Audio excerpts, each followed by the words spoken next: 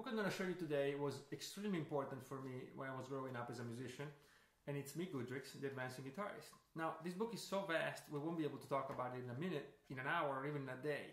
And that's actually the trick, I think, to study this book without getting overwhelmed, which is don't even think about finishing it. You know, you just go through it. You study it, and then you go back and you study it again, and every time you learn something. But it's very paradigm shifting about the guitar because, for example, you open the book, and the first thing he says, okay, now play every scale you know and all the scales you don't know in every key, in every mode, with one finger on one string. That's it. Now think about that. It sounds silly, but it will change the way you see the guitar, and it will change the way you see its architecture.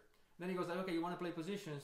Here's 12 posi- positions. There's one per fret. So go ahead and find out in every key, in every mode, in every scale. Sounds crazy, but it's the most useful book, I think. So don't even listen to me. Just go and buy it. It's called The Advancing Guitarist.